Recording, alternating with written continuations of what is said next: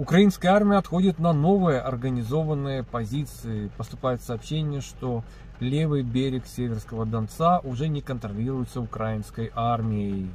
Напомню, организованным отходом назвал Пентагон действия украинской армии. Хотя, если посмотреть видео, как-то не очень-то организовано.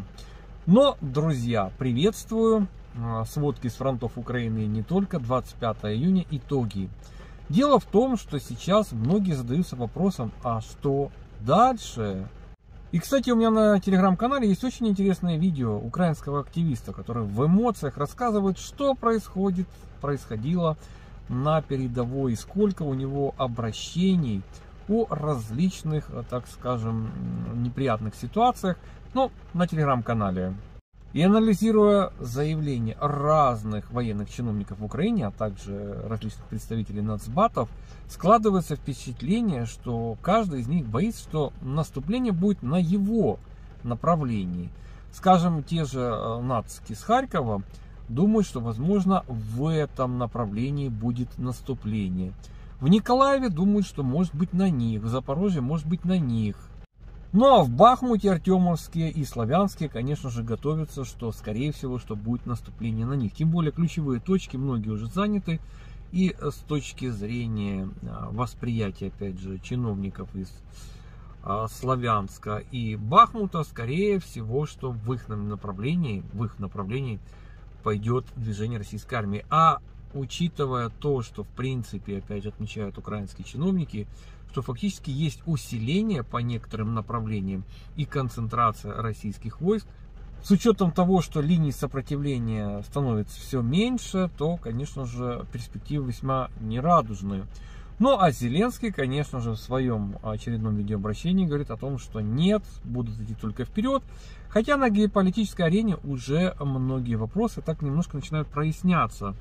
И уже представители Украины заявляют, что не хотят уже в НАТО, не будут больше пытаться вступать, потому что все равно нет ответной реакции и как-то это все бесперспективно. Столтенберг говорит, что все должно закончиться переговорами, но нужно, чтобы у Украины были сильные позиции, НАТО должно в этом помочь Украине. А тем временем в той же Португалии, к примеру, как-то вооружение не будет поступать. А, потому что денег нет на дорогу. Да, оказывается, вот бронетранспортеры есть, а денег на их транспортировку нету.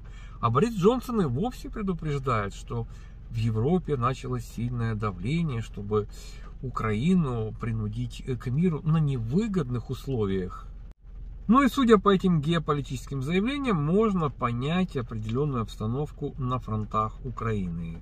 Но у Зеленского, Арестовича, конечно же, сейчас есть темы для перемог. Это Европейский Союз, кандидатство в Европейский Союз. Хотя уже опять звучат различные зраднические какие-то заявления о том, что должны быть очень большие реформы проведены, может быть тогда. Но, в общем, это помогает пока что отвлекать, собственно говоря, от того, что происходит на фронтах Украины.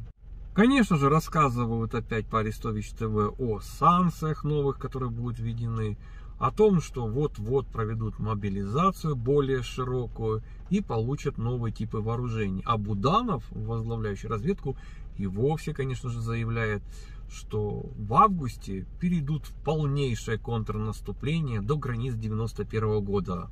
Напомню, что Буданов недавно относительно делал тоже какие-то громкие заявления, но как-то его прогнозы не сбылись.